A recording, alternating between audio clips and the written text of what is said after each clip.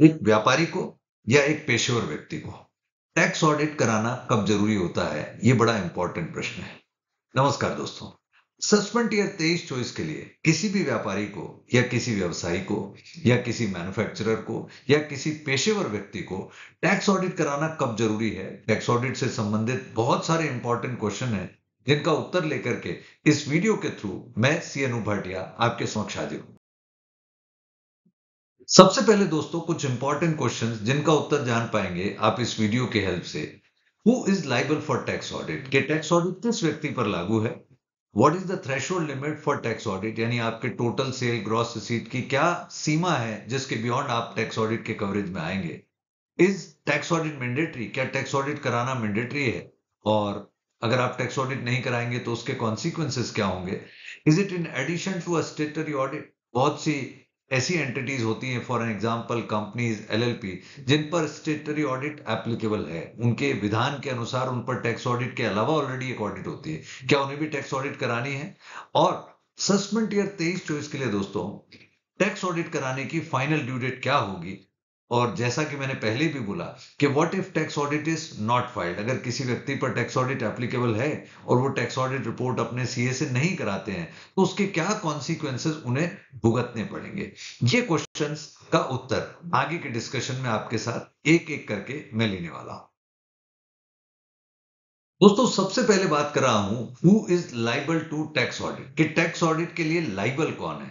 बड़ी सरल भाषा में कहूँगा अ बिजनेसमैन और प्रोफेशनल, यानी या तो वो व्यक्ति टैक्स ऑडिट के कवरेज में आएँगे जो बिजनेसमैन है, चाहे आप उन्हें ट्रेडर कह लीजिए मैन्युफैक्चरर बोल लीजिए इंडस्ट्रियलिस्ट बोल दीजिए, व्यापारी बोल दीजिए होलसेलर बोल दीजिए रिटेलर बोल दीजिए। और प्रोफेशनल भी टैक्स ऑडिट के कवरेज में आते हैं। यानी ऐसे सभी व्यक्ति जिनकी आय profits and gains of business and profession head में टैक्सेबल हो सकती है, उनके लिए संभव है कि टैक्स ऑडिट एप्लीकेबल हो। पर मैं ये नहीं कहूँगा दोस्तों कि सभी व्यापारियों के लिए या सभी पेशेवर व्यक्तियों के लिए टैक्स ऑडिट मैंडेटरी है।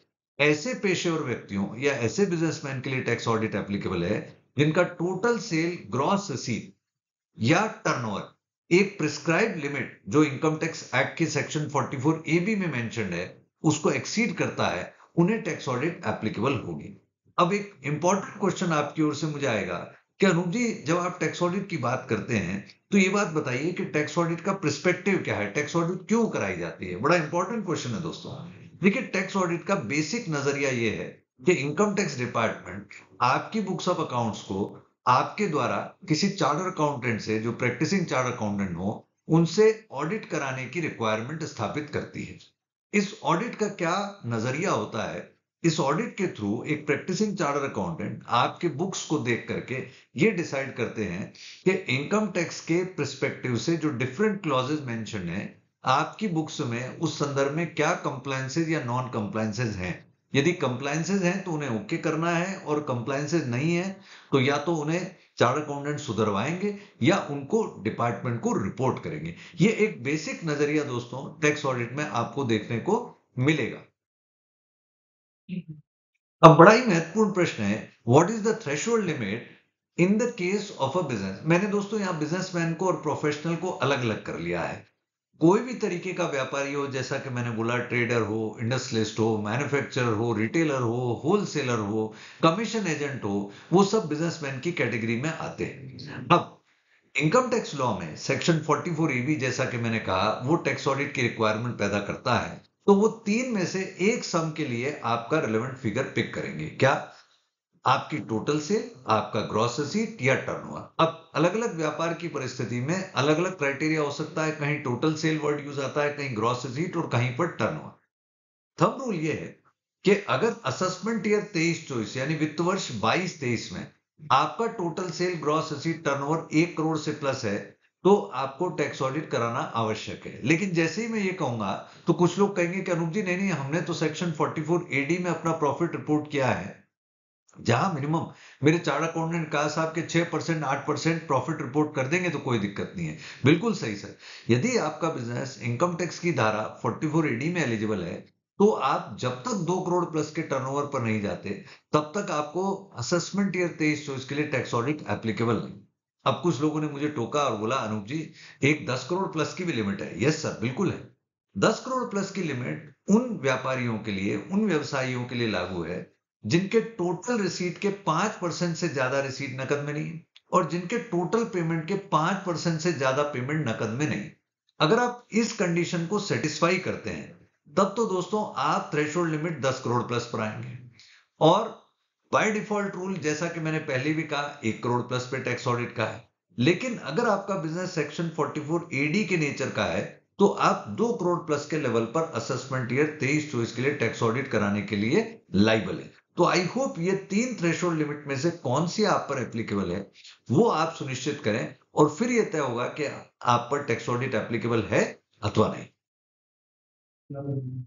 अब जैसा दोस्तों मैंने बिजनेसमैन के लिए डिस्कस किया, वैसे ही प्रोफेशनल के लिए डिस्कस करता हूँ। आप कहेंगे अरूप जी प्रोफेशनल कौन? सबसे पहले तो मेरे जैसे लोग जो चार्टर अकाउंटेंट हैं, या मेरे और बहुत सारे भाई charter accountant lawyers doctors then interior decorators interior decorator के साथ ऐसे पर्सन जो इंफॉर्मेशन टेक्नोलॉजी में काम करते हो फ़िल्म एक्टर्स एक्ट्रेसेस ये सारे व्यक्ति और भी ऑथराइज रिप्रेजेंटेटिव वगैरह कैटेगरीज हैं दोस्तों।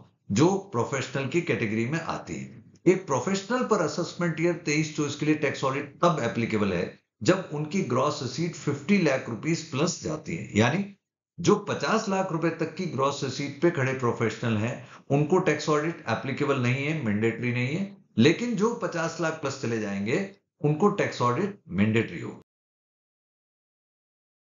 अब दोस्तों, आपके साथ चर्चा कर रहा हूँ कि अगर किसी व्यक्ति ने इनकम टैक्स की धारा 44 एडी अथवा एडीए अथवा ए जिन्हें हम टेक्निकली प्रिजम्पटिव टैक्सेशन स्कीम्स कहते हैं, उनमें बेनिफिट लिया हो तो क्या उन पर टैक्स ऑडिट एप्लीकेबल होगी या नहीं होगी और कब होगी? ये एक बड़ा इंटरेस्टिंग डिस्कशन है। तो मैं एक एक करके आपके सामने रखता हूँ ये बात कि अगर कोई व्यक्ति सेक्शन 44 एडी में कवर्ड है तो क्या उस पर टैक्स ऑडिट एप्लीकेबल है? तो हम रूल यही है कि नहीं साहब? जो सेक्शन 44 एडी में एलिजिबल है, कौन? For an example a trader with turnover up to 2 crore who is offering minimum 6% on banking transaction and 8% on cash transaction on his total sale, gross receipt, turnover तो उनको tax audit required नहीं। Question आता है, ये बड़ा tricky question है, कि यदि वो 6% से कम या 8% से कम नेट प्रॉफिट रिपोर्ट करते हैं तो क्या टैक्स ऑडिट एप्लीकेबल है? अब यहाँ ध्यान रखने की एक बड़ी इंपॉर्टेंट बात।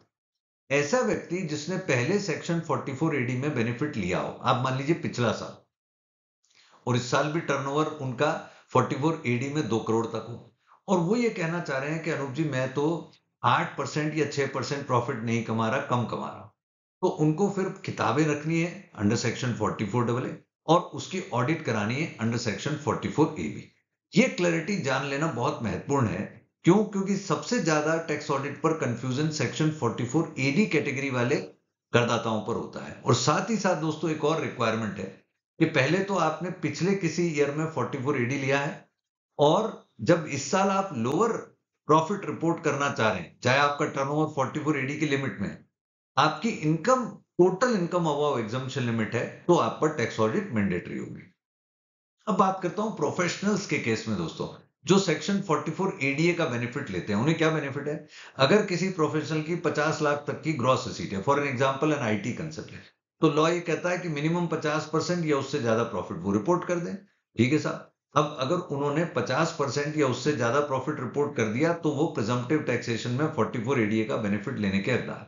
मान लीजिए ऐसा करदाता ये कहता है कि नहीं साहब, मैंने 50 परसेंट नहीं कमाया, मैंने कम प्रॉफिट कमाया है, मुझे कम अर्निंग हुई है मेरे प्रोफेशन से तो उन्हें टैक्स ऑडिट कराना मैंडेटरी होगा।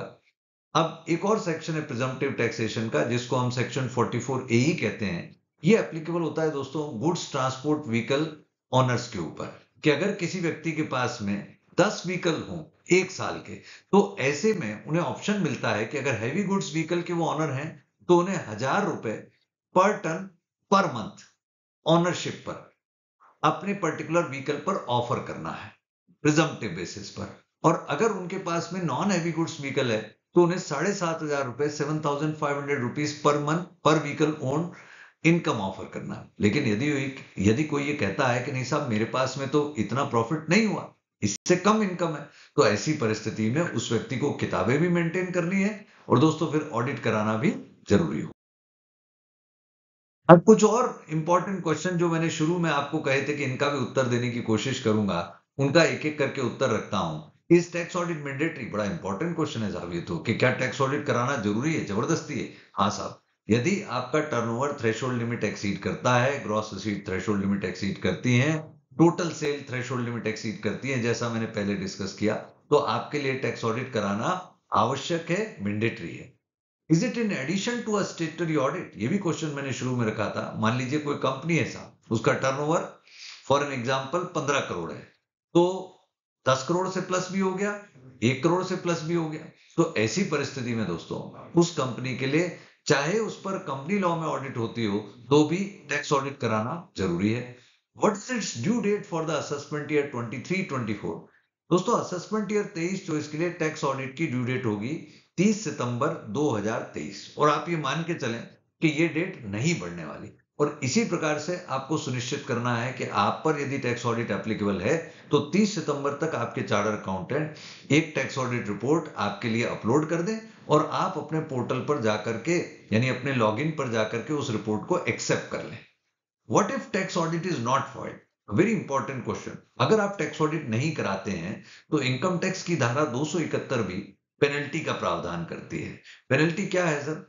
आपके टोटल सेल ग्रॉस रिसीट या टर्नओवर का आधा परसेंट अथवा one lakh fifty thousand rupees whichever is less इन दोनों में से जो भी कम होगा, मात्र उतने अमाउंट की पेनल्टी आप पर एप्लीकेबल हो सकती है।